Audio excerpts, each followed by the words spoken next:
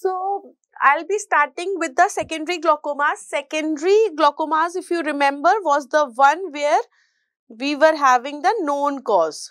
Cause is known. In the primary glaucomas, we were not knowing the cause, but here the glaucoma is due to a particular reason. That is called as secondary glaucomas. So, the first here we have the lens induced, lens induced glaucomas. This we have already covered in the topic of cataract. Like we had seen number uh, A was your phacomorphic, phacomorphic glaucoma. So, we know that it was occurring due to which stage of cataract? Phacomorphic was occurring due to immature, immature senile cataract. This is your phacomorphic. Then we know about the phacolytic, phacolytic glaucoma. Phacolytic glaucoma is the most common lens-induced glaucoma. This is the most common lens-induced glaucoma. It is the most common lens-induced glaucoma and which stage was causing this? This is caused by the Morgagnian. Morgagnian stage of the hypermature senile cataract. Morgagnian type of hypermature senile cataract. Now, there is one more thing that you should know here that when there is lytic, so we have the lysis of the cortex proteins. We have the lysis of the cortex proteins here. And if you remember, lens has sequestered antigens. Lens has sequestered antigens. So, the proteins which are present in the lens have the antigens. Therefore, it can lead to the phacoanaphylactic, phacoanaphylactic uveitis. So, these proteins which are being released due to the lysis, these proteins can actually lead to anaphylactic reaction which is an inflammatory response and therefore I can have what you called as phacoanaphylactic uveitis. Both will come from the same stage that is Morgagnian type of hypermature senile cataract. So, there are um, few important things here. The phacolytic glaucoma. Phacolytic glaucoma is the most common glaucoma not the most common secondary glaucoma. It is the most common lens-induced glaucoma. Second thing, it is occurring due to the Morgagnian type of hypermature senile cataract. Now, the same stage can also lead to the phacoanaphylactic uveitis. The same stage can also lead to phacoanaphylactic kind of uveitis due to what? Due to the sequestered antigens, right? Then coming to the next one, C. We have phacotopic phacotopic glaucoma the phacotopic glaucoma occurs due to due to the sclerotic type Sclerotic type of hypermature senile cataract. So, we have already read about them. I am just writing the names. Phacotopic. Topic means position. So, that glaucoma which is occurring due to the changes in the position of the lens that is called as phacotopic glaucoma. It is occurring due to the sclerotic type of hypermature senile cataract. Then we have D. This is your phacotoxic phacotoxic glaucoma. Phacotoxic glaucoma occurs due to the PCR.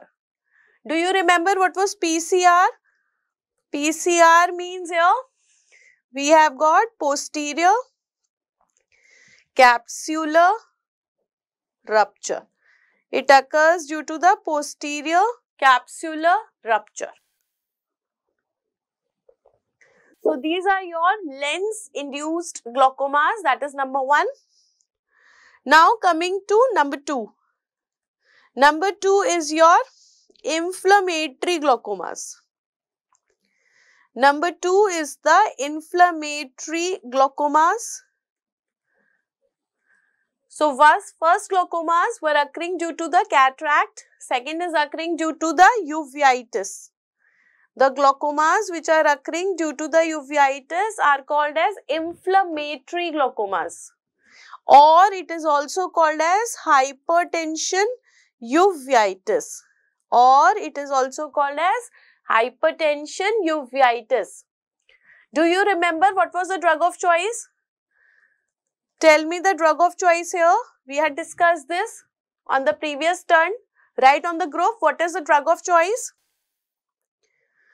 Give me the answer then we will discuss this. Inflammatory glaucoma. Now if you look at the mechanism.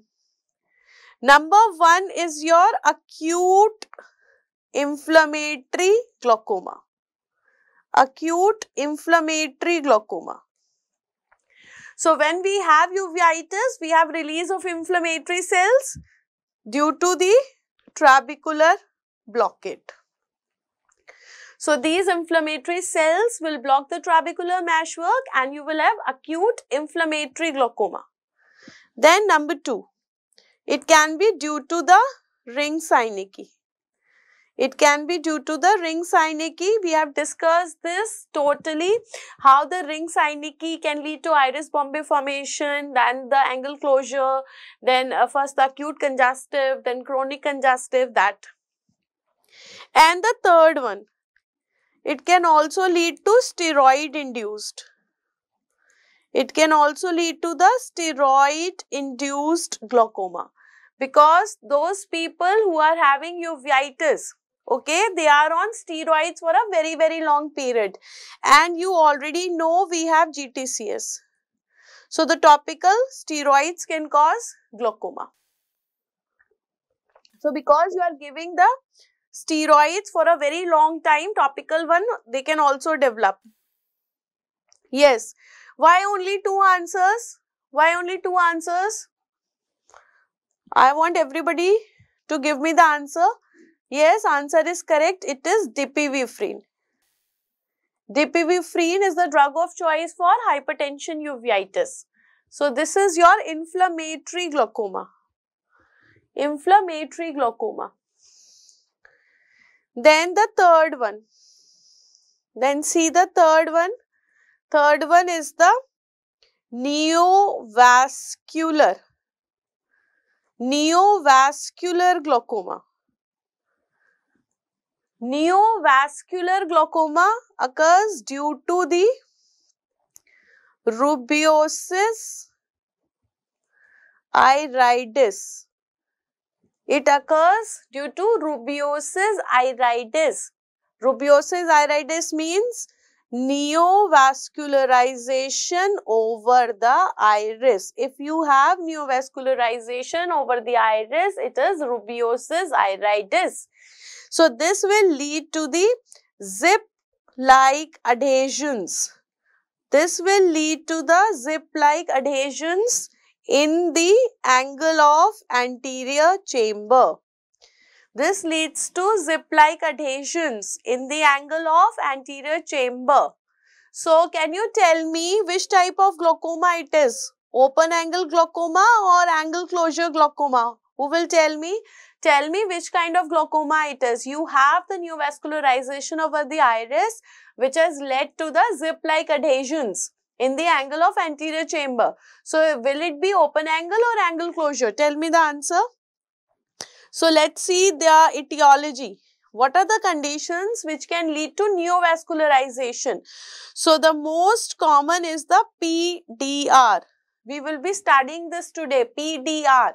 This is your proliferative, proliferative diabetic retinopathy. This is most common. Most common is PDR. Then you have got what you call as the CRVO. CRVO. This also we will be reading today. Central retinal venous occlusion. Now, when you have this in the CRVO, then it is also called as, this is also called as 100 day glaucoma. The neovascular glaucoma which is occurring in CRVO, this is also called as 100 day glaucoma. This was asked as a direct question in NEET 2018. Direct question had come. Then we also have the Eales disease. Eales disease bhi aaj hum log padhenge. This is vitreous hemorrhage. Then you have the sickle cell. Sickle cell retinopathy. Now we will not be studying the sickle cell retinopathy in the retina, but this you should know from the systemic diseases. You read the sickle cell disease in the medicine and all. So you should know this that in the sickle cell retinopathy also we have ischemia and due to ischemia we have this proliferation. Then you have the intraocular intraocular tumors. Tumors will also show the neovascularization. So these are the causes of neovascular glaucoma. What is 100 day glaucoma? Now most common neovascular glaucoma is actually found in the PDR but when they are asking you specifically the 100 day glaucoma, then your answer is CRVO. So what kind of glaucoma it is? Let me see what you have answered.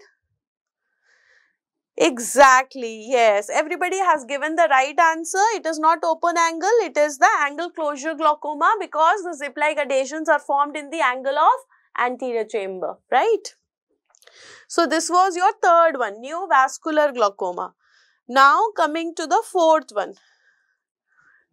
Now coming to the fourth one, this is your pigmentary glaucoma. The fourth is the pigmentary glaucoma. Pigmentary glaucoma occurs due to the pigment deposition. This is occurring due to the pigment deposition in the trabecular meshwork. So, we have pigment deposition in the trabecular meshwork. So, whether it is open angle glaucoma or it is angle closure glaucoma, again tell me the answer. Here you have pigment deposition. You have pigment deposition in the trabecular meshwork. So, we have pigment deposition in uh, anterior segment per se specifically the trabecular meshwork also. So, you get the two important signs Tell me the answer also whether it is open angle or angle closure. You have to answer this. Now, two important signs that you get in pigmentary glaucoma. Very, very important. You usually get the question on this. One is your Krukenberg spindles. Krukenberg spindles. And second is the Sampaolesi's line. Krukenberg spindles and Sampaolesi's line are the two important clinical feature, uh, signs, sorry, two important signs that you get in cases of pigmentary glaucoma. Now, what is the Krukenberg spindles? It is the pigments. Pigments on the posterior surface of the cornea if you have the release of the pigment and these pigments are deposited on the posterior surface of the cornea, then this is called as Krukenberg spindles. While what is Sampaolesi's line? This is a gonioscopic finding. This is a gonioscopic finding. It is seen on gonioscopy where you get the pigments along the Schwalbe's line. Here you see the pigments around the Schwalbe's line. What was Schwalbe's line? The prominent end of the Descemet's membrane of the cornea. So you should know what is the Krukenberg spindles, what is Sampaolesi's line. Okay, then you should also know that it is a gonioscopic finding right? So what have you answered here? Very good. Again, everybody has given the right answer. it is actually the open angle glaucoma, not the angle closure because you are having the blockade in the trabecular meshwork and the word trabecular blockade itself says that the angle is open, right? Then coming to the next one, the fifth one. The fifth is your steroid induced glaucoma. So, if I talk about the steroid induced glaucoma per se, it is due to the now, there are uh, more than one mechanisms which have been explained for steroid-induced glaucoma, but I will tell you the main reason or the main etiology. The main etiology is the deposition. It is the deposition of GAG. What is GAG? GAG is the glycosaminoglycans glycosaminoglycans. It is due to the deposition of glycosaminoglycans in the trabecular meshwork.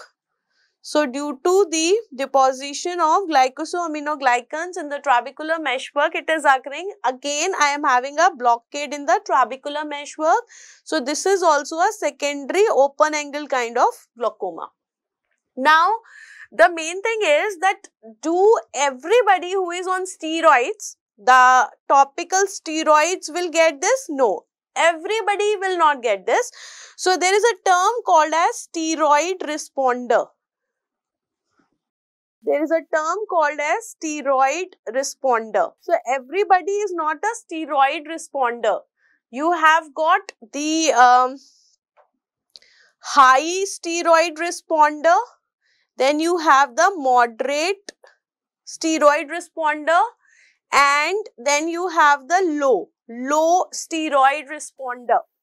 So, everybody is not coming under the high steroid responder. Only 5% of the people are under the category of high steroid responder and these people will uh, eventually develop this steroid induced glaucoma. So, everybody who is taking the steroids will not develop the glaucoma. So, 35% are moderate. 35% people come in the moderate category and rest 60% are coming under the low category. So, most of the people will not develop the glaucoma. Most of the people will not develop the glaucoma.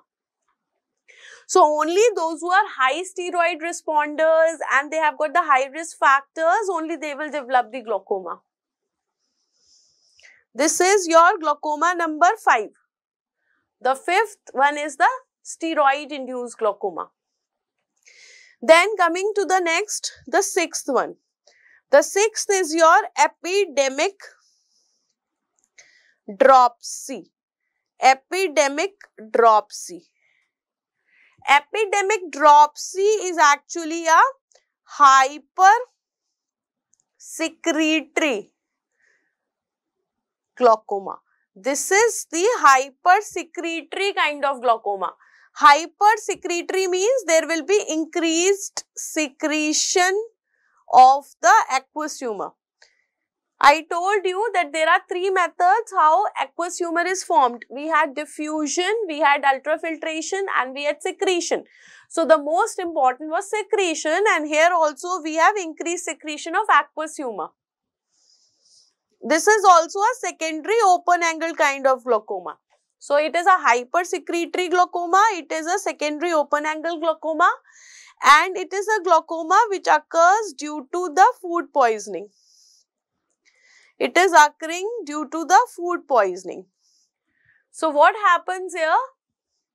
We have got a alkaloid that is called as sanguinarine. We have a alkaloid sanguinarine, alkaloid, right?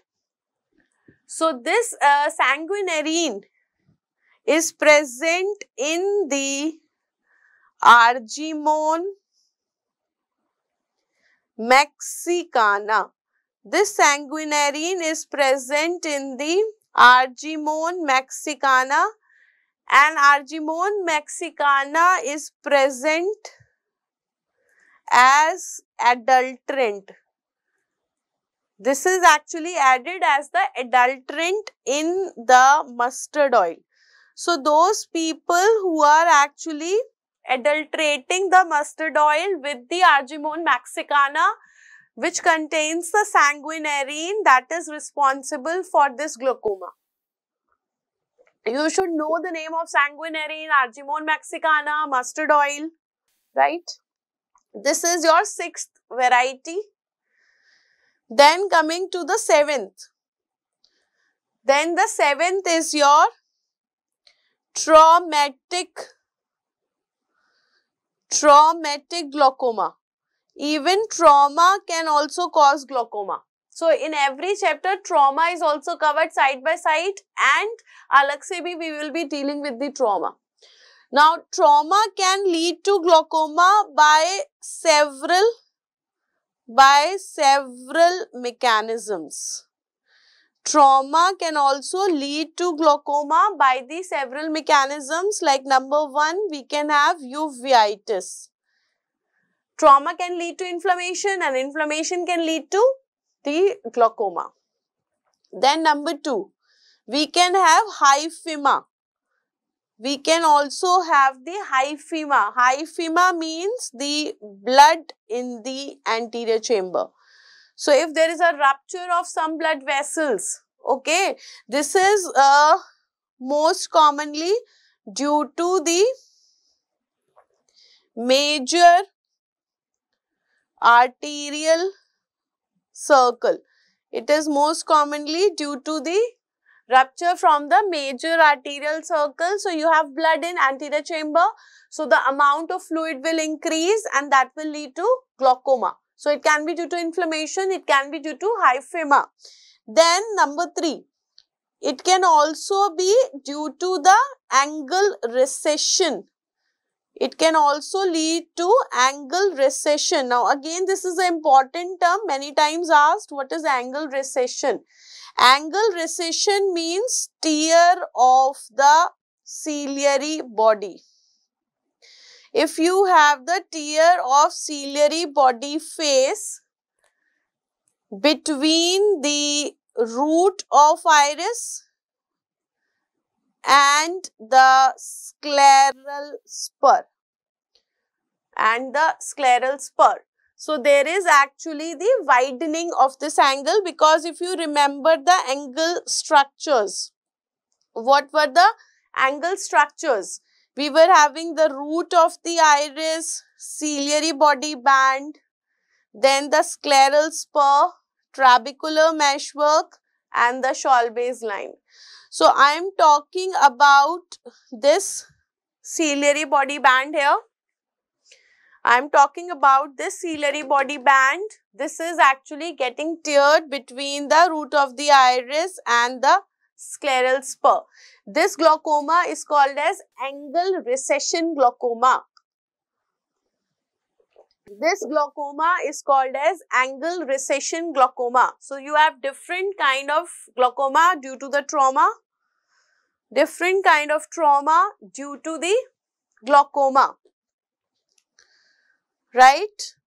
Now, we come to the eighth one.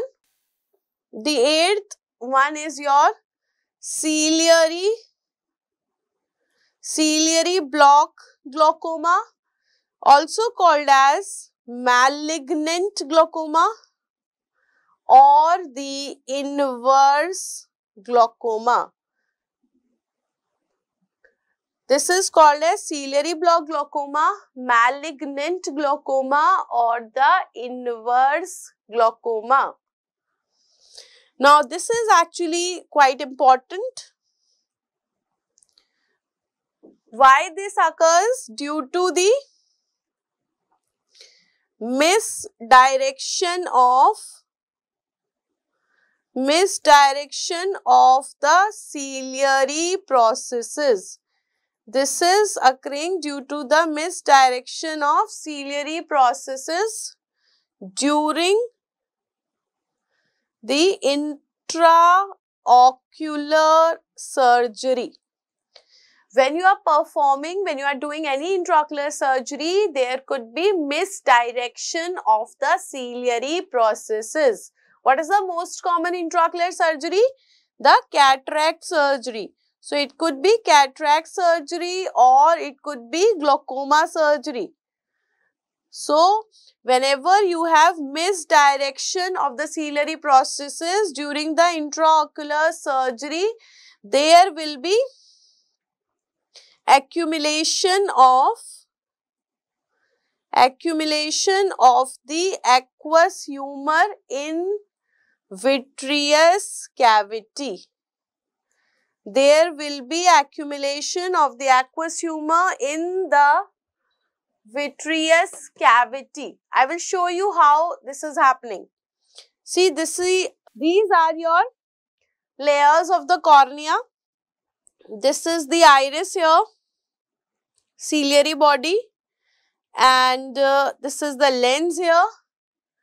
This is your vitreous cavity. So, in the vitreous cavity, I will have vitreous which is gel-like. So, I have this vitreous here that is not a problem. Now, normally these ciliary processes are directed anteriorly like this. These ciliary processes are directed anteriorly so, when you have release of the aqueous humor, this will also go anteriorly like this. This will go in this anterior chamber. Then it will go in the angle of anterior chamber and 90% drainage will take place through this trabecular outflow. This is the normal thing. This is your normal. How this is taking place? This is your normal one. Now, when you have the misdirection of the ciliary processes. So, if I have the misdirection of the ciliary processes, now the ciliary processes are coming something like this. They are directed posteriorly. Here also they are directed posteriorly. So, when they are directed posteriorly, something like this, right? So, now the aqueous humor will be going in the vitreous cavity. That is why you have accumulation of aqueous humor in the vitreous cavity eh, where you have no outflow channel. No outflow channel is actually present in the vitreous cavity therefore it is dangerous. Also what is formed there? What is formed at this level? you have what you called as the cilio lenticular. You also have cilio-lenticular block. Why it is called as the ciliary block glaucoma? Because you have the formation of the blockade. Like here we are having the block between the ciliary processes and this lens. So, this blockade is called as cilio-lenticular blockade. So, aqueous humor is not able to go anteriorly. Now, because you are not having any outflow channel, you do not have any outflow channel here, that is why it is called as malignant glaucoma. So, I am also telling you why it is called as ciliary block glaucoma and why it is called as malignant glaucoma. So, how should I treat it now? What should I do? Let's see the treatment. The treatment of choice is the atropine. The treatment of choice which is used here is actually the atropine. Why atropine is used as the treatment of choice? Because atropine breaks the ciliary block. This atropine helps in breaking the ciliary block. How can I break this ciliary block? Now, let us try to imagine, suppose this was like this and we had this iris here, we had the ciliary body and uh, we have having the lens here and uh, we were having the ciliary processes that were causing the blockade here. Now, when I give the atropine, then what will happen? It will dilate the uh, pupil. So, this will actually dilate the pupil and also pulls the ciliary body. So, when it is pulling the ciliary body, therefore, pulls the ciliary processes. So it will also pull the ciliary processes and opens the block. This is how it opens the block. So how it will take place?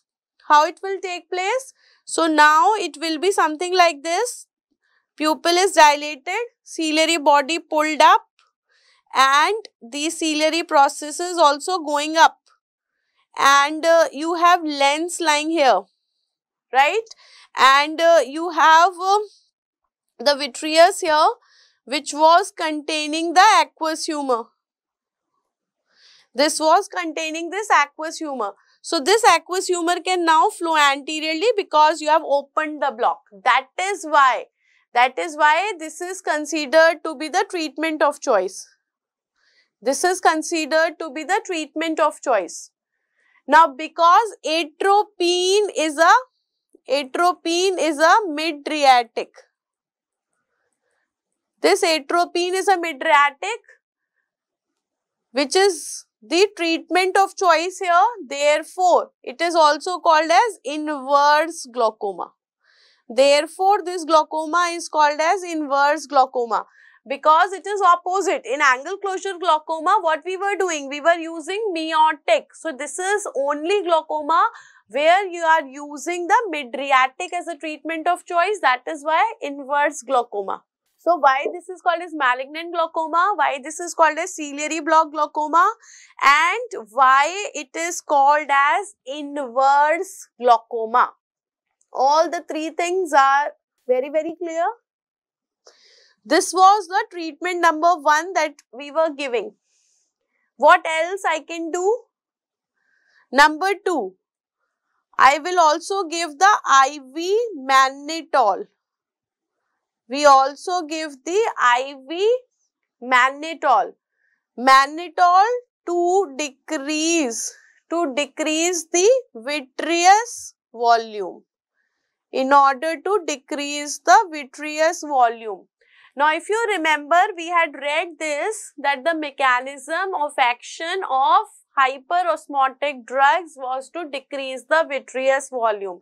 Why I want to decrease the vitreous? Because aqueous humor was present in the vitreous cavity. So, I want to decrease the vitreous volume. Number 3. I also give the acetazolamide. Acetazolamide to decrease the aqueous formation. In order to decrease the aqueous formation, I also give the acetazolamide. So, less aqueous formed, less will go into the vitreous cavity. Whatever is present, I am using mannitol to decrease it. So, these two together will also decrease the intraocular pressure. The advantage is you are decreasing the aqueous volume, you are decreasing the vitreous volume and you are also decreasing the intraocular pressure. Number 4. If you have some residual vitreous volume, so for that you can do vitreous aspiration. We can also do the vitreous aspiration by the posterior by the posterior sclerotomy. So, if I have more of the vitreous lying inside the vitreous cavity, I can give a small hole in the sclera and I can aspirate. So, this is the total treatment of the ciliary block glaucoma. Total treatment of ciliary block glaucoma. So, this completes your topic of glaucoma. Give me a thumbs up if you have understood all the eight varieties of the secondary glaucoma. Anything that you have uh, to ask or any doubt? Give me a thumbs up if you have understood all the varieties of secondary glaucoma so that we can start with the next topic, retina. Yes, I can see the first. Anything?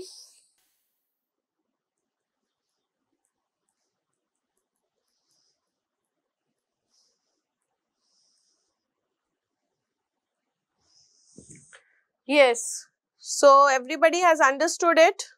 Good. So, now we start with the retina. Now, we start with the retina. So, as you know, retina is actually the innermost, innermost coat of the eyeball. It is the innermost coat of the eyeball. The extent of the retina is from the ora serrata ora serrata to the optic disc margin. From the ora serrata to the optic disc margin, how aphakia causes glaucoma actually you will be able to understand only after we have done the optics. So, I will be telling you there, okay. Extent is from the ora serrata to the optic disc margin Ora means origin. This is the origin of the retina. Serrated means uneven. Uneven margin from which the retina is starting. This is the cornea. Then you have the iris, the ciliary body. So, from the ciliary body you have choroid and outer to this you have sclera. Now the retina starts from the serrated margin. This is your ora serrata. Ora serrata is important. This ora serrata, this is actually the thinnest, thinnest area of the retina. The thinnest area of the retina is this ora serrata. Then it is extending backwards. It is going like this. So, I will make it thickening because you have got so many layers in the retina. We have got 10 layers in the retina and one layer continues to form the optic nerve which is myelinated so, I will make it whitish. This is your optic nerve. So, it is the optic disc margin. So, from the ora serrata to the optic disc margin is the retina and from the area from where it is coming out through the sclera. The area of the sclera through which it is coming out, this part is called as lamina cribrosa. This part is called as lamina cribrosa. Cribriform appearance, sieve like, channi jaisa dikhta hai. Because all these fibers are coming out. You had seen this in glaucoma also. Yes. So this was the extent of retina. What is lamina cribrosa? And what is the thinnest part of the retina? We have done this. Now coming to the parts of retina.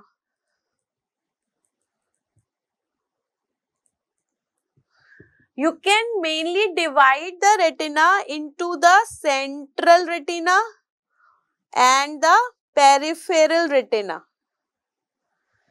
We can also call it as fundus.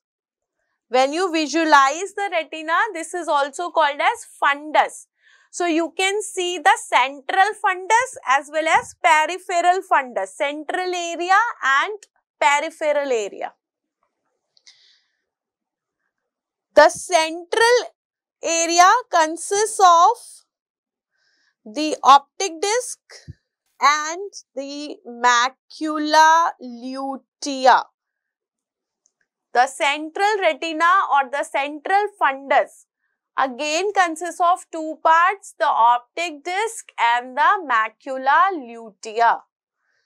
Optic disc is present on the nasal side, while the macula is present on the temporal side.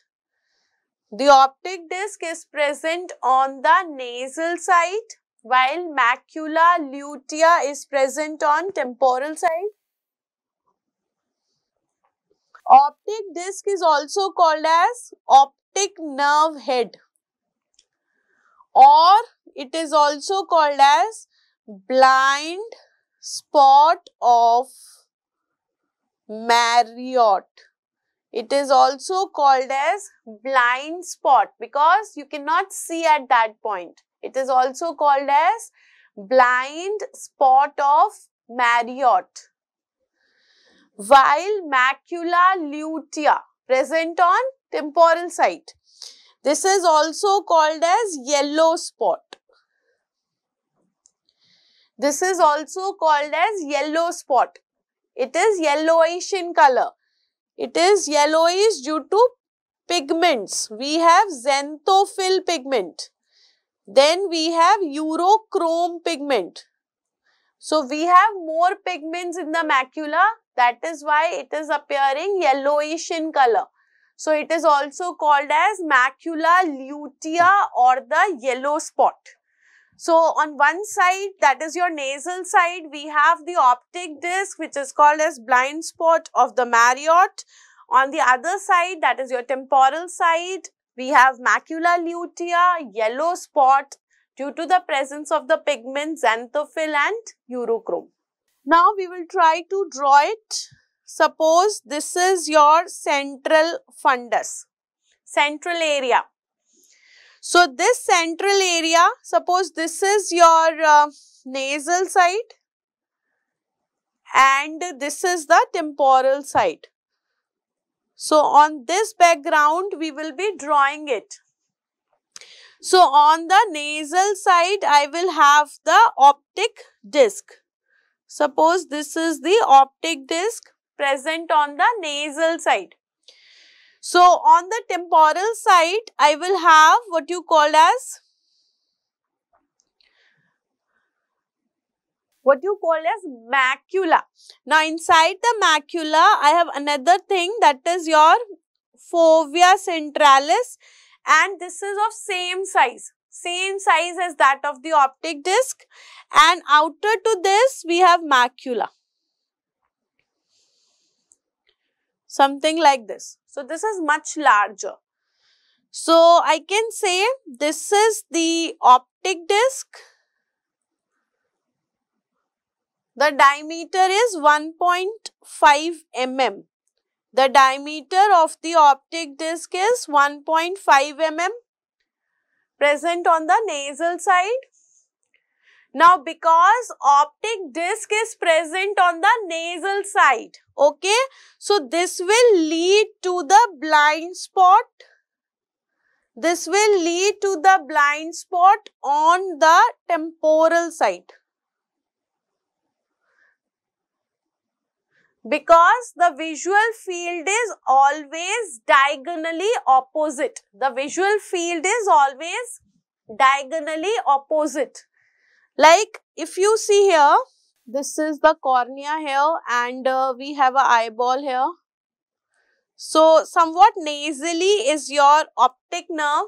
So, if I divide this into two parts, this is the nasal retina and this is the temporal retina. So, nasal retina has this, nasal retina has the optic nerve head Nasal retina has the optic nerve head. So, this is lying in the nasal side here. So, the visual field that is corresponding will be the temporal side.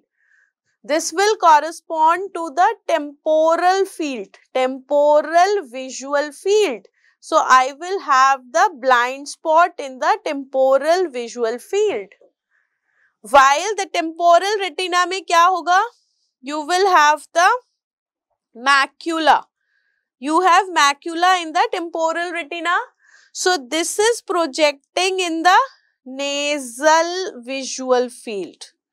This is projecting in the nasal visual field. This was projecting in the temporal visual field. This is the difference between the retinal fibers and the visual field. Are you getting this?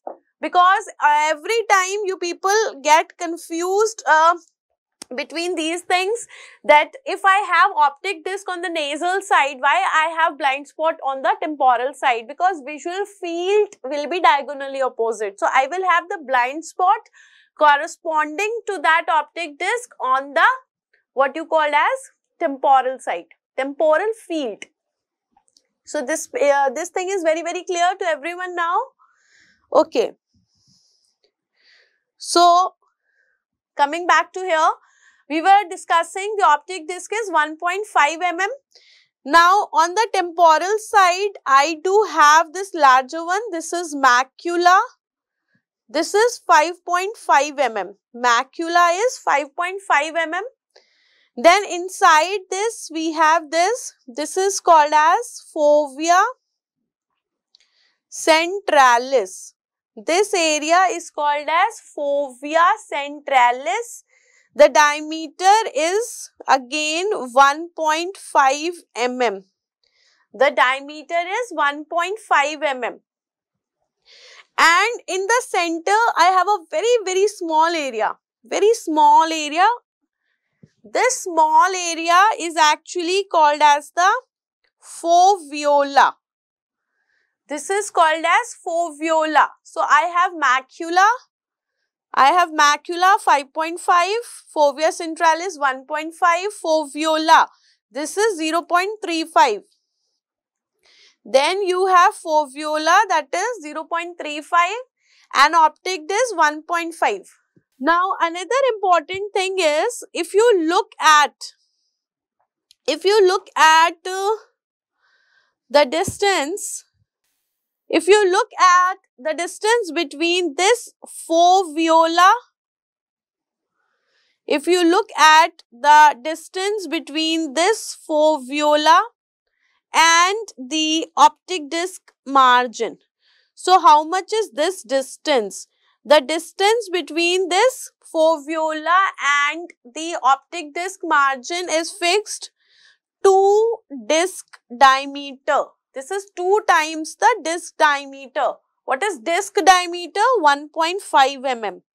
So, this will be 2 into 1.5, 3 mm.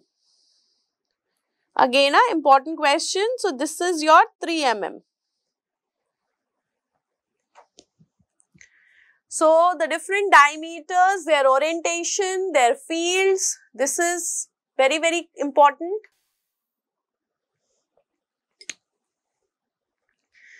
Now, how to tell that which side eye is? Which side eye is this? Suppose you are seeing the fundus and uh, something like this you are seeing then how will you come to know whether it is right eye or it is left eye? How will you come to know? See, the optic disc is nasally, macula is temporally, macula is temporally. So, means macula of the right eye will be present on the right side and macula of the left eye will be present on left side. So, wherever you have macula, that side eye it is. Yes. So, this is right side and this is your left side. So, I am getting the macula on right side. So, this is right eye. Whichever side you have macula, that side eye it is. Because macula is on temporal side. So, macula of right eye will lie on the right side, macula of the left eye will lie on the left side. So, this is very, very clear now. Yes. Now, uh, another important thing is that the fovea centralis. Fovea centralis is the place where the sharpest image, the sharpest image is formed.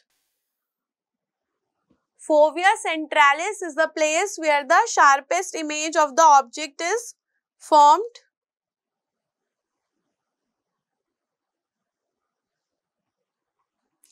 Or I can say the sharpest image of the object is formed on which part of the retina? It is the fovea centralis. Now, why it is so? Because it is densely packed with the cones. because this area is densely packed with cones, no rods here. Relatively, I am not having any rods here, I am having cones. So, this is giving you the sharpest image. Now, I can divide this fovea centralis into two parts. One is the floor and another is the rim. We have the floor area and the rim area. The floor is the thinnest part of the retina. Floor is the thinnest part of the retina while the rim is the thickest part. Thickest part of the retina. Now, you will say that I have already told you that actually the ora serrata was the thinnest. So, overall, if say, say overall, then the thinnest is the ora serrata. So, if both are given, you have to go with the ora serrata. If they have not given both, then go with the fovea centralis, the thinnest part of the retina. So, this is thinnest because here the number of layers are also very, very less. The number of the layers that you have is also very, very less here. Yes. So, that also I will be talking about. Then another important thing is that you have foveola you have the foveola. So, foveola is responsible for the foveolar reflex. Foveola is responsible for the foveolar reflex. This is a shining reflex. A shining reflex which is coming from the macula.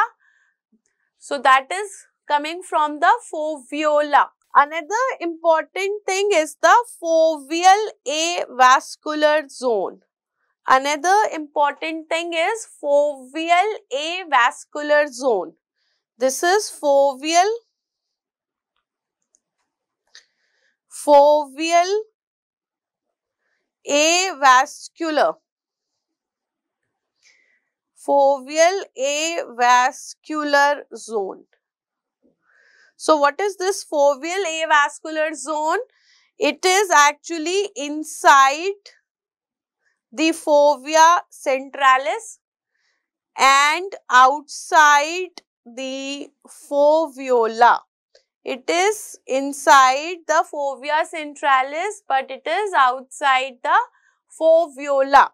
0.4 to 0.6 mm in the diameter Foveal avascular zone lies inside the fovea centralis but outside the foveola it is a area of 0.5 to 0.6 mm in diameter having no vascular supply. This area is not having any vascular supply.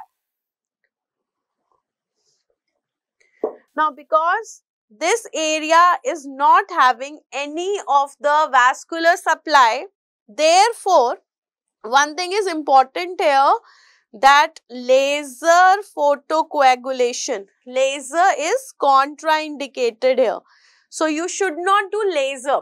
I can do the laser in the periphery, I can do the laser in the uh, surrounding areas, but I will not do the laser especially in this area because no blood supply. Already it is ischemic. Yes. Then another important thing is your ophthalmoscopy.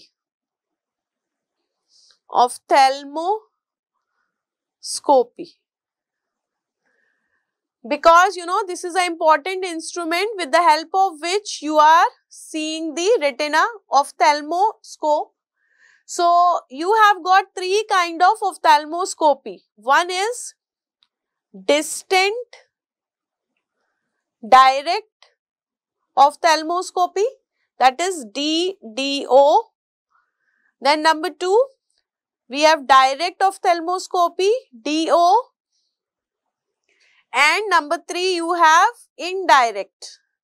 Indirect ophthalmoscopy this is your IO. You have got three kind of ophthalmoscopy distant direct, direct and indirect. Now, these two, the distant direct and the direct of ophthalmoscopy is done by the direct of ophthalmoscope. These two are done by the direct of ophthalmoscope while indirect of ophthalmoscopy is done by the indirect, done by the indirect ophthalmoscope. So, if they ask me is 3, how many kind of ophthalmoscope? Then it is 2. We have got 3 kind of ophthalmoscopy, but we have got 2 kind of ophthalmoscope. Now, first I will tell you the difference between the direct ophthalmoscope and the indirect ophthalmoscope. I will show you the picture also. What is the difference between direct ophthalmoscope and the indirect ophthalmoscope? Direct ophthalmoscope is used to see the central fundus. It is used to see the central fundus, central retina. Indirect is used for the periphery. While the indirect is used for the periphery. How much is the area that is seen? Direct of ophthalmoscope say you can see 2 disc diameter. Just 2 disc diameter, just 3 mm. Indirect of ophthalmoscope say you can see 8 disc diameter, much larger area, 8 disc diameter. Then look at the image. What kind of image is formed? So, direct ophthalmoscope produces virtual, erect and magnified. Virtual, erect and magnified. While if you look at the indirect ophthalmoscope, you have real, inverted and magnified. You have got real, inverted and the magnified, real, inverted and magnified. Now, if you look at the uh, direct ophthalmoscopy, the magnification is very, very high. This is 15 times. You are having 15 times magnification. But if you look at the indirect of ophthalmoscopy, magnification is much less. It is 5 times. It is much less 5 times. So, though it is magnified in both, but it is much less by indirect because there you are seeing larger area. More area, less magnification, less area, more magnification. Yes. So, which is better for a hazy media? Now, suppose my patient is having diabetic retinopathy. I want to see this patient's retina, but he is having cataract. Okay. So, what if the patient is having hazy media uh, maybe he is having uveitis or he is having cataract or he is having any corneal opacity, then what is better? Indirect ophthalmoscopy is better. Then in these cases, it is the indirect ophthalmoscopy which is better. These are the differences between the direct ophthalmoscope and indirect ophthalmoscope. Now, what is actually the distant direct ophthalmoscopy? Distant direct ophthalmoscopy is the direct ophthalmoscopy. It is the direct ophthalmoscopy from a distance. So, when you are doing the direct ophthalmoscopy from a distance, it is called as distant direct ophthalmoscopy. How much is this distance? So that is variable 25 centimeter or 33 centimeter or 40 centimeter. Different books will give you different answer. So when you are doing the direct ophthalmoscopy from a distance, it is called as distant direct ophthalmoscopy. So you have some orientation about uh, the retina, its uh, extent, its parts, how do you visualize it. So let's have a look over the retina. See, this is your normal fundus. This is your normal fundus. Can you see you are having a reflex here. This is called as the red reflex. This is called as the red reflex or um, this is also called as the red glow. This is also called as a red glow. This you will see in uh, the questions also, clinical scenario type of questions. They say a red glow is present. Now, some people say it is a yellowish glow. Some people say pink, uh, yellow, orange, whatever, red. Uh, uh this is a difference in the perseverance. But it's a bright uh, color that you are getting. And why you are getting this bright color? Because you have the choroid behind. Because of the choroid. So basically choroid is the reason behind the color of the retina. Otherwise retina does not have that much of color that it will appear reddish in color. So if you have something in the vitreous cavity that is blocking that capillary blood flow seeing.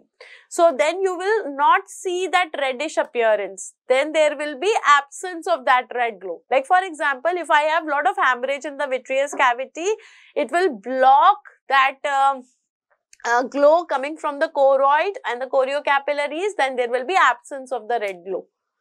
So this red glow is due to the choriocapillaries.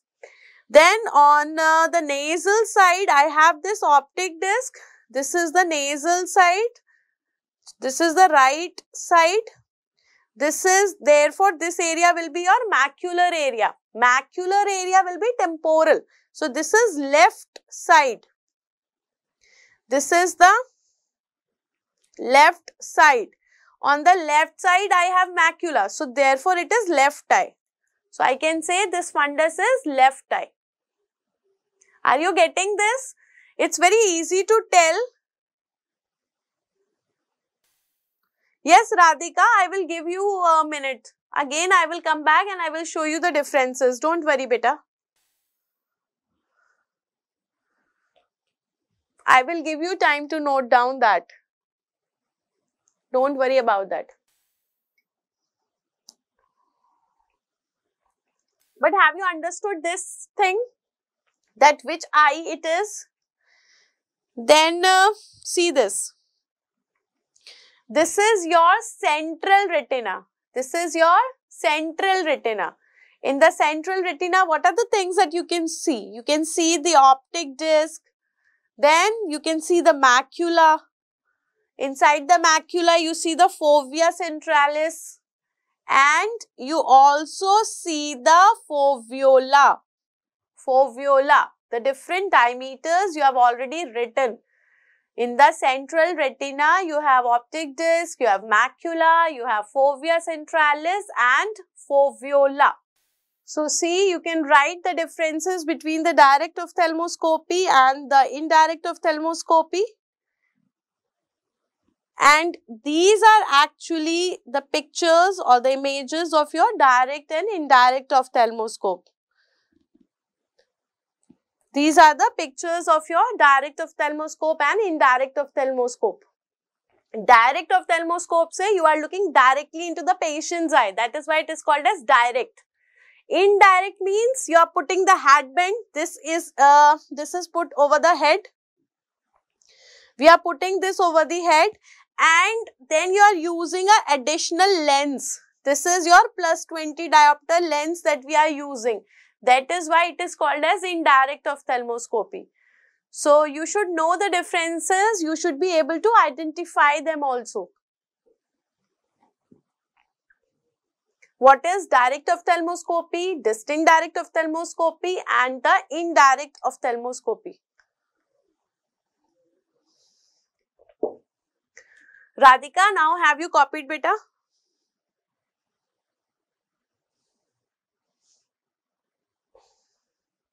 Everybody has understood this, has copied this.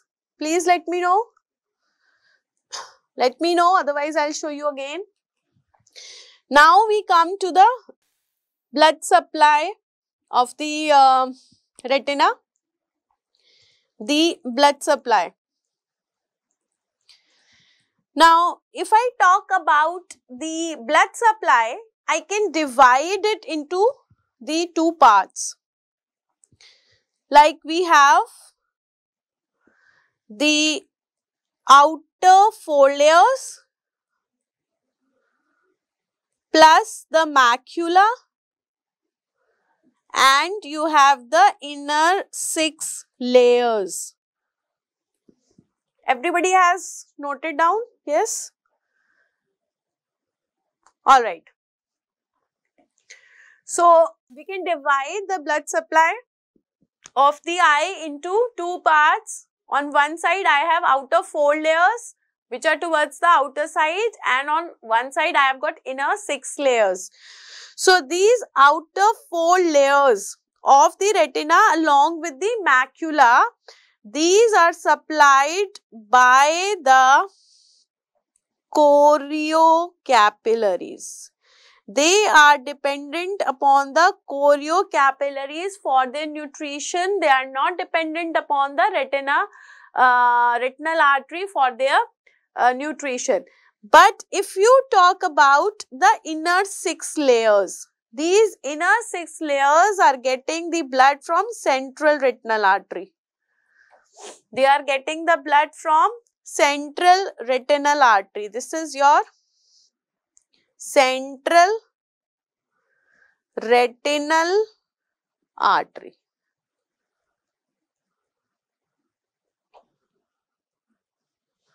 Alright. The blood supply can be divided into two parts. Outer part by the choriocapillaries and the inner part by the central retinal artery like this. Next, we will come to the layers of the retina. Layers of the retina. Layers of retina are 10. Layers of the retina are 10. Now, if you see these layers from out to in, if you see these layers from outer side to the inner side, then the first is RPE layer, retinal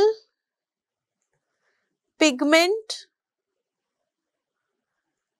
epithelium. The outermost layer of the retina is the pigment epithelium, retinal pigment epithelium. Now, this is called as pigment epithelium. Why it is called as pigment epithelium? Because it contains the pigments it contains more amount of pigment like uh, we have got the melanin. That is why it looks actually blackish in color. So, it contains pigment, retinal pigment epithelium. So, this is the outer side of the retina. So, this will be in contact with the Bruch's membrane of the choroid because outer to retina is the choroid. So, on the outer side of the retina, I will have the Bruch's membrane of the choroid.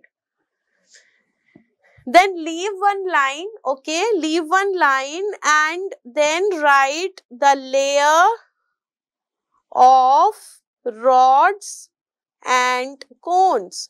Then you have the layer of rods and cones. Rods and cones are photoreceptors. Rods and cones are the photoreceptors. Now they are also first order neurons.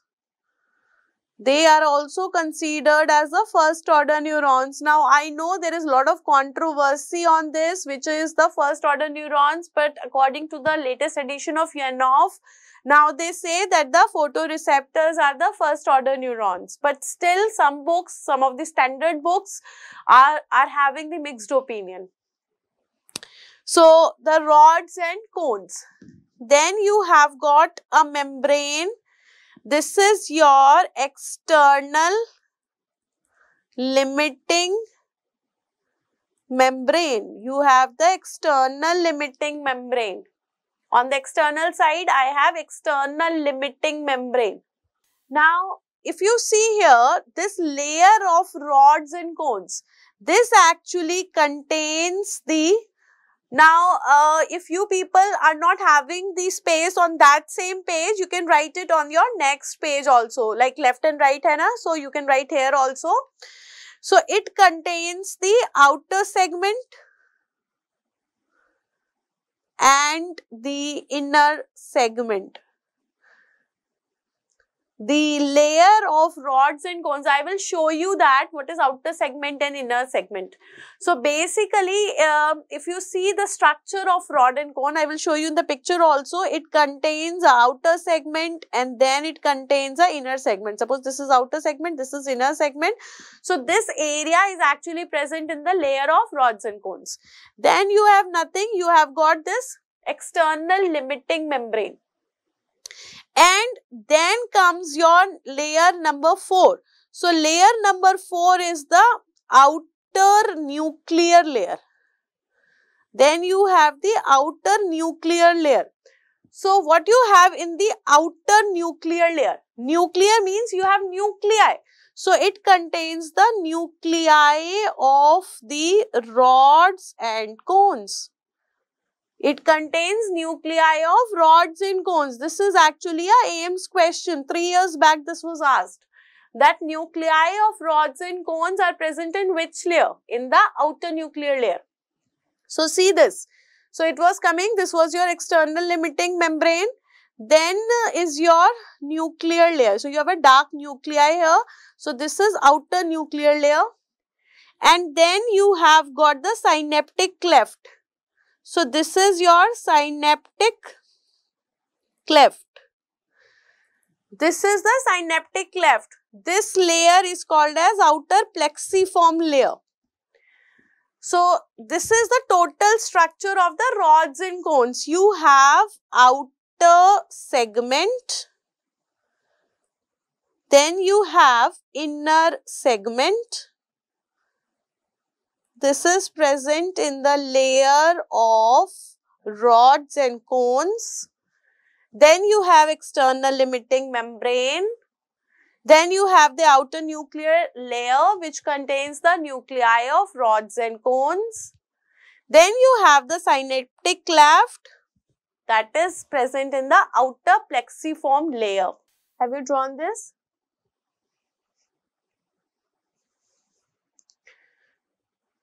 So, after the outer nuclear layer, you will have outer plexiform layer which contains the synaptic cleft of rods and cones. So, this will help you in solving so many questions from the last three years. Every time they are asking a question related to this. That is why I am writing in such a detail. Now number 6. These layers will repeat on inner side. So, I will have inner nuclear layer as well as the inner plexiform layer. I will have the inner nuclear, inner plexiform. So, outer plexiform को हम लिख सकते हैं OPL. Then inner nuclear को INL.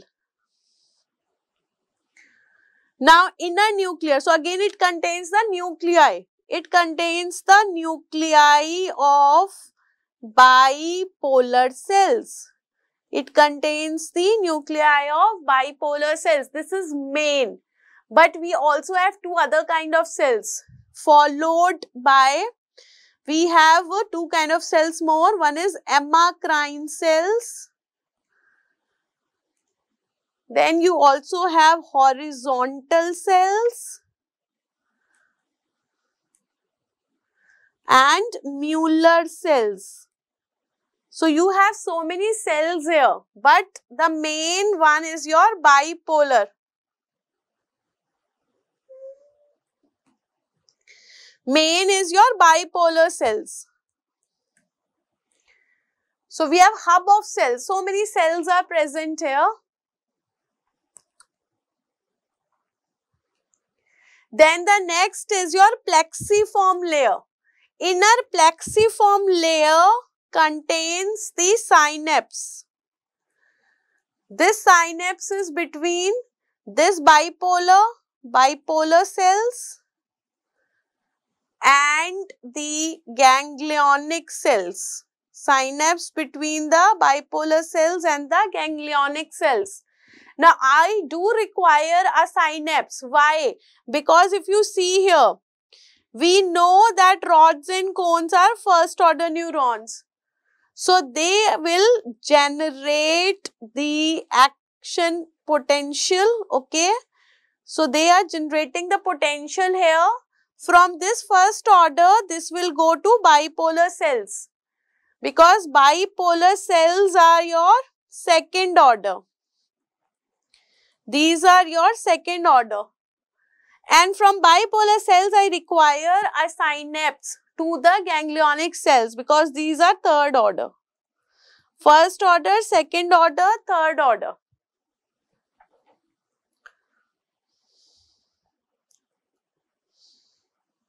Are you able to write? Yes or no? Then coming to the eighth one, eighth is your ganglionic cell layer. Ganglionic cell layer. This is GCL, ganglionic cell layer. Obviously, ganglionic hi hona tha because on this side I had the bipolar cells and here I am having a synapse between bipolar and ganglionic. So, this side I, I will have the ganglionic now. So, I will have ganglionic. So, this ganglionic cell layer Ganglionic cell layer contains what? It contains the it contains the dendrites of the ganglionic cells. It contains the dendrites of the ganglionic cells because axons are not present here. Where you have axons? In the next layer, nerve fiber layer. In the nerve fiber layer, I have so this nerve fiber layer contains the axons of ganglionic cells. Now this is very very important. Nerve fiber layer continues to form the optic nerve nerve fiber layer continues to form the optic nerve. Therefore, in the optic neuropathy, you had studied just now the glaucoma. Glaucoma, where what was happening? It was a multifactorial optic neuropathy characterized by retinal ganglionic cell death. So, why I have this ganglionic cell death in neuropathy? Because this nerve fiber layer, because this nerve fiber layer contains the axons of ganglionic cells. That is why whenever I have neuropathy, I will have ganglionic cell death. And then finally, I will have number 10, that is your internal limiting membrane. Finally, I will have internal limiting membrane. So, these are the 10 layers of the retina along with the cells which are present inside them. Which layer continues to form the optic nerve? That also you have seen which layer continues to form the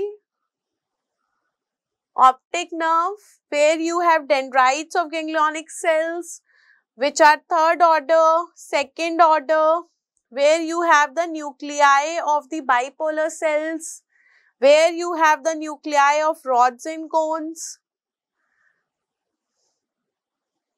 What are your first order? Then if you see here, we had left a space here, this space. What is this space? I had said that leave one line here. So this is actually a space called as subretinal space. This space is called as subretinal space which contains the subretinal fluid. subretinal space containing subretinal fluid. SRF मतलब subretinal fluid.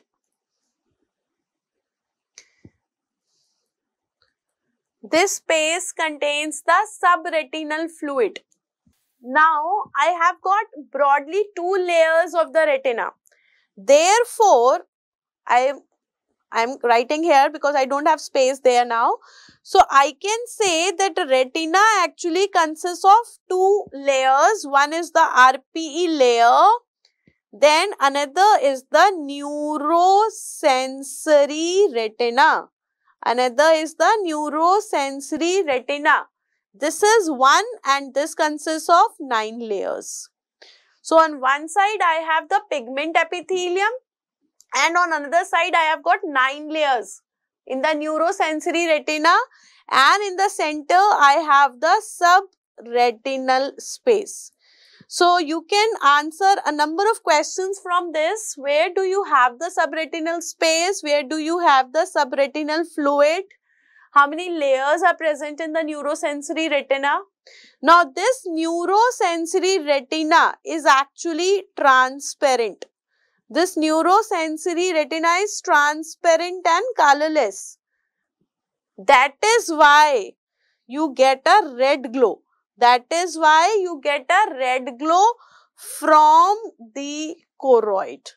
If the retina is having its own color, obviously you won't be able to see the red glow from the choriocapillaries because the majority of the part of the retina is transparent, it is colorless and therefore you get a red glow from the choriocapillaries or the choroid. While this pigment epithelium contains the pigments. Yes. So, on this side of the RPE, you will have choroid. And on this side of the neurosensory retina, you will have the vitreous. You will have the vitreous. So, this is how the orientation will take place. I will have vitreous, then the neurosensory retina, then the subretinal space, then I will have the RPE and then I will have choroid. Let us draw it also. You will get to understand. Suppose this is your vitreous cavity. So, this is your vitreous here. Right. So, I will say this is your vitreous. After the vitreous, this is your neurosensory retina. Then you will have the subretinal space and then you will have the RPE layer. Suppose this is your RPE layer and uh, then I will have the choroid. Then I will have the choroid. So, try to see the orientation. This is your vitreous. Then this is your neurosensory retina. Then this will be your subretinal space. Then this will be the RPE layer. And outside the RPE, you have choroid. So, this will help you in understanding the orientation of the layers of retina. Have you written this? Is this clear up till now? Anything that you want to ask? Any doubt? Have you understood this area? Now, certain important things. Certain important things. Number one, the layer which is most resistant to the radiations. The layer which is most resistant to the radiation is the RPE layer followed by the ganglionic cell layer. Number 2, the layer most sensitive, the layer which is most sensitive to the radiations. This will be your layer of rods and cones. This will be your layer of rods and cones. Number 3. The layer which continues in the optic nerve that is your nerve fiber layer.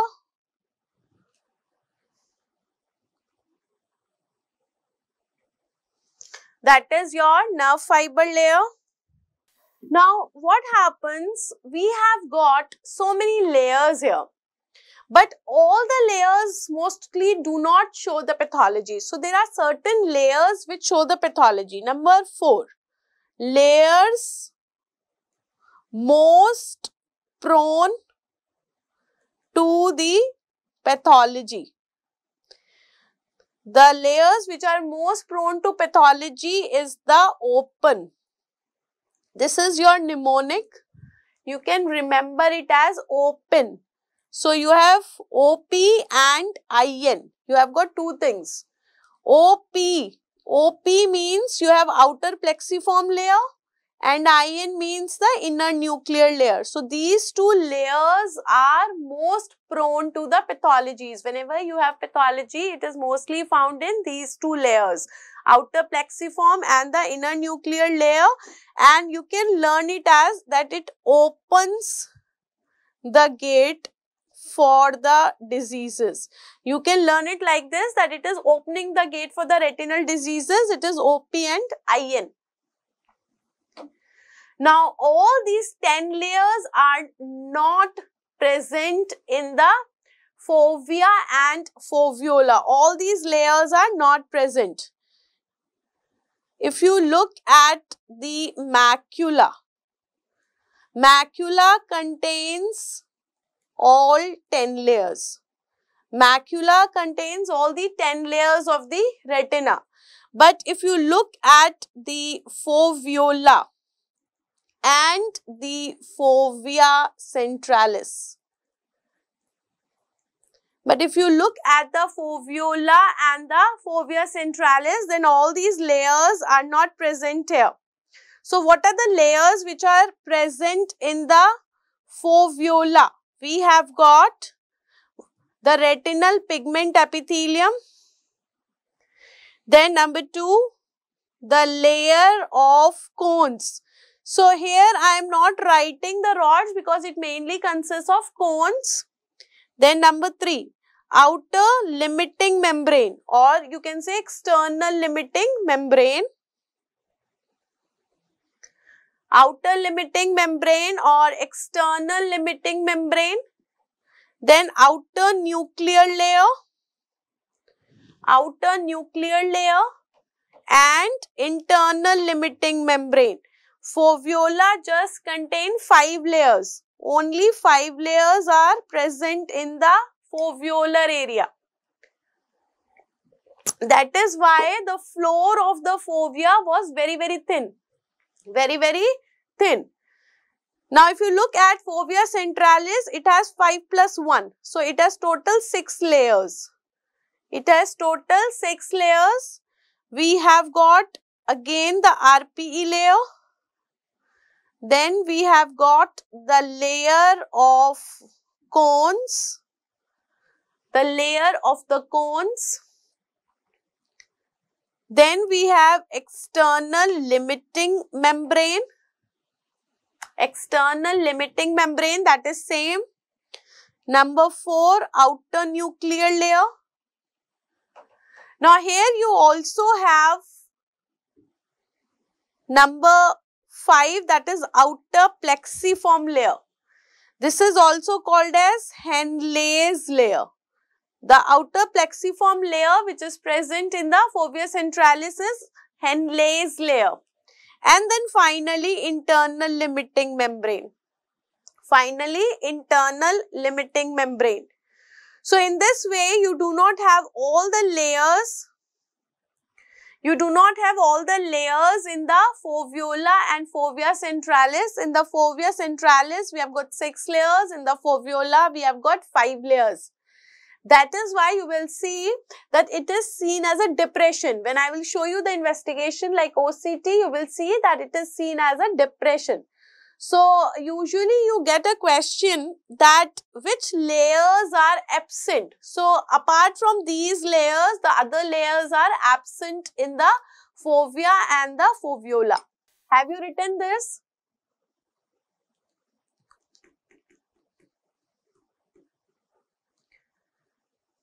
Now, after this, we'll be doing the histo of retina.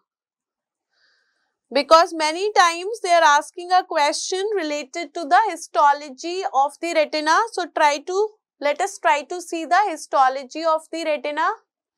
Now see, these kind of histological section they are usually showing and then they are asking which side or which particular layer of retina it is.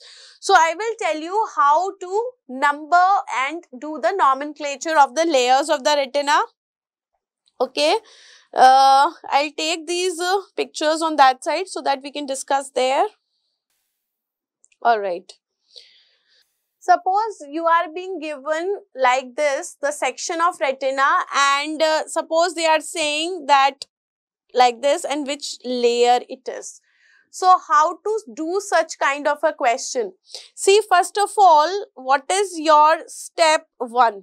Step 1 is you have to see the side which one is your external side and which one is your internal side. The step number one is you have to see which side of the retina it is.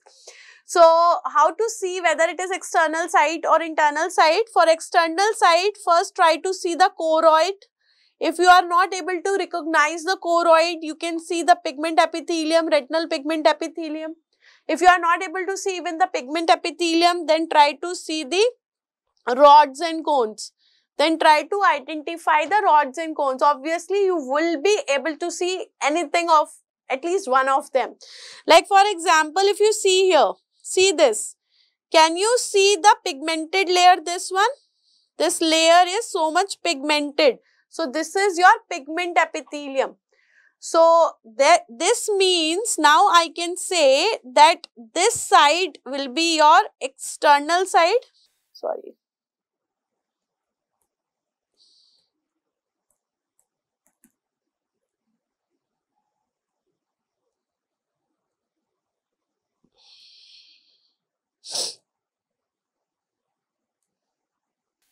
So, I will come to know that this side will be the external side and therefore, this side will be the internal side.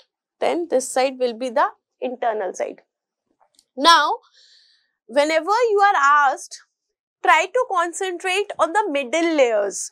Can you see these layers which are darkly pigmented? These layers are your darkly pigmented layers. This layer is also your darkly pigmented. So, the two layers which are darkly pigmented are actually the nuclear layer. These two are nuclear layer because they are darkly pigmented. Now, you already know that this is your RPE. Therefore, this is outer nuclear and this is your inner nuclear. So, two layers you have already understood. One is your outer nuclear which is towards the pigment epithelium. So, the other one will be your inner nuclear layer. Now, if you see the middle one, so you have now this plexiform layer and I will have this also plexiform layer. So, one which is after outer nuclear will be outer plexiform and one which is after inner nuclear will be inner plexiform. So, mostly they are asking you about these four layers. Any of these four layers asked. So, you have to see whether you are able to see the single layer of cells present in the pigment epithelium or you can even see the section of choroid. So, if they are showing you the section of the choroid, you can see the lumen of the cut vessels. This is your lumen of cut vessels in the choroid.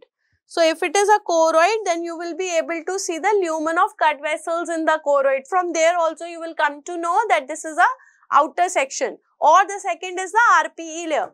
Now, sometimes like this time what they did, they are giving you at this level. So I am not seeing RPE, layer, I am not seeing choroid, then how will I come to know which side is outer and which side is inner? See this. Then also you can do it. So for that I have another technique here. Try to see these. Can you see these long segments here? These are your outer segment and inner segment. Then you will come to know that this is your outer segment and inner segment. So what is this? Photoreceptors. So these are your photoreceptors. So the, that means this is your external side. That means this is your external side. So again I can say that this is outer nuclear. This is outer nu sorry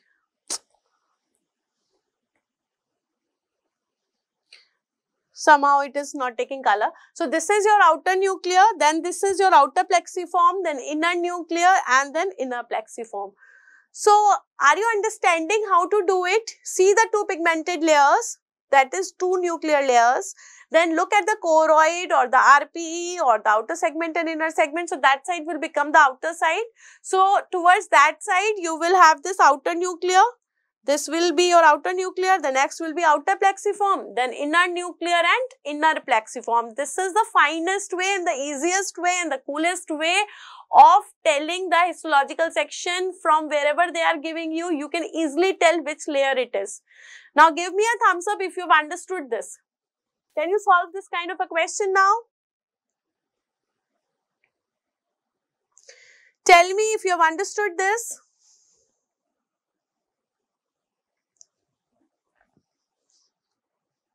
How to read the histological section? How to read the histological section of the retina? Everybody has understood or not? Please tell me. Yes, everybody has understood. Okay. Now, instead of the histological section, sometimes they are giving this way also. Sometimes they are giving this way also. So that will again appear same. Now see this.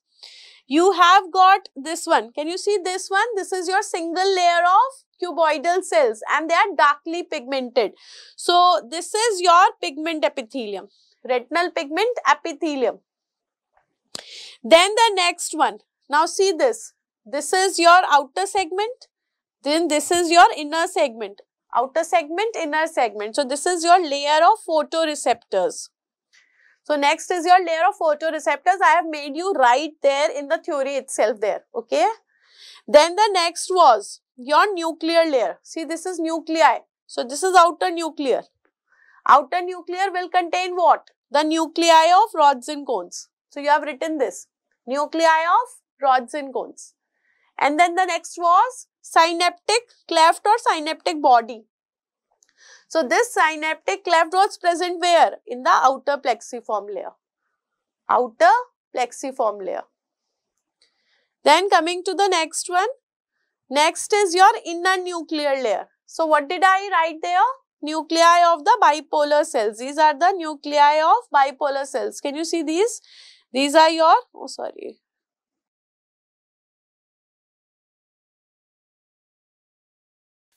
These are your nuclei. Can you see these ones? These are your nuclei of the bipolar cells. Mainly it is bipolar, but I did told you that you have got other cells also. You have got Mueller cells, you have got amacrine cells, horizontal cells and bipolar cells. But if they are asking you one, then your answer is bipolar cells. Then your answer is bipolar cells. Then coming to the next. Next is your inner plexiform layer. Inner plexiform layer contains the synapse of the bipolar cells with the ganglionic cells because this side pe we have bipolar cells and that side I have the ganglionic cell layer. And ganglionic cell layer was containing what? Dendrites of the ganglionic cells. So it is a sandwich here. On one side I have ganglionic cells, on one side I have bipolar cells or beach mein I have the synapse of both. Now in the ganglionic cell layer, I have dendrites. So the axons are going in the nerve fiber layer. So this is your axons of ganglionic cells going in the nerve fiber layer. And nerve fiber layer is forming what? Optic nerve. Nerve fiber layer is forming what? Optic nerve. And finally, I have this layer. Can you see this very, very thin layer? Uh, this one, this layer is your internal limiting membrane. So, finally, I will have internal limiting membrane. So, these are the total 10 layers of the retina. Which layers are present in which area? Macula contains all the layers, which layers in fovea and which layers in foveola. How to read the histological section? What are the peculiarities of the different layers? All we have done.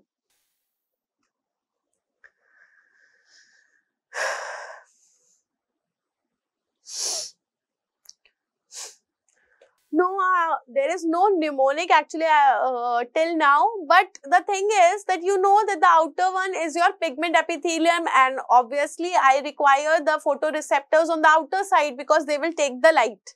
So, we have uh, the pigment epithelium, then I will have photoreceptors and then a limiting membrane. And then I have a repeat, outer nuclear, outer plexiform, inner nuclear, inner plexiform and then we have ganglionic cell layer, nerve fiber layer and the internal limiting membrane.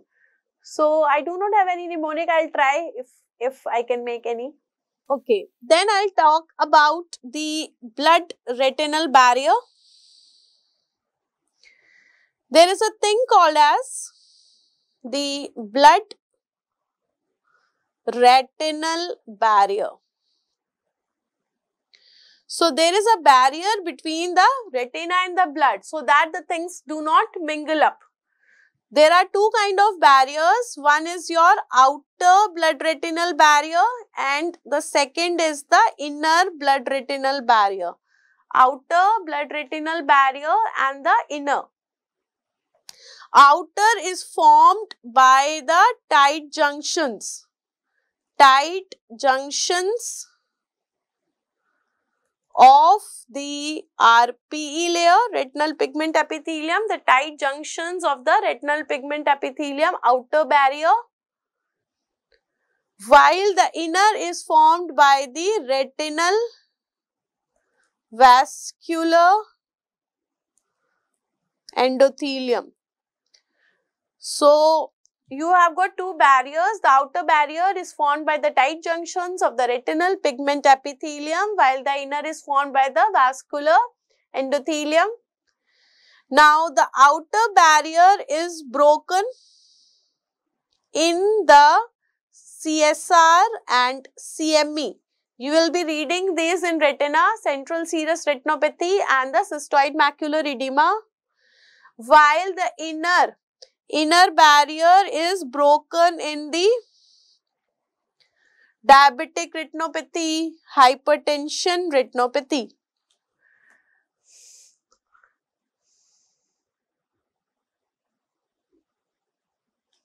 In the diabetic retinopathy and the hypertension retinopathy. So, this was in short, you know, about the uh, normal anatomy as well as the physiology of the retina. You have got, you know, two kind of cells here, rods and cones. They are forming the blood retinal barriers, the blood supply, the layers, the ophthalmoscope, the parts. So, here we take a break of uh, 15 minutes and then we will resume, okay? See you after the break. If any doubt, please type on the group.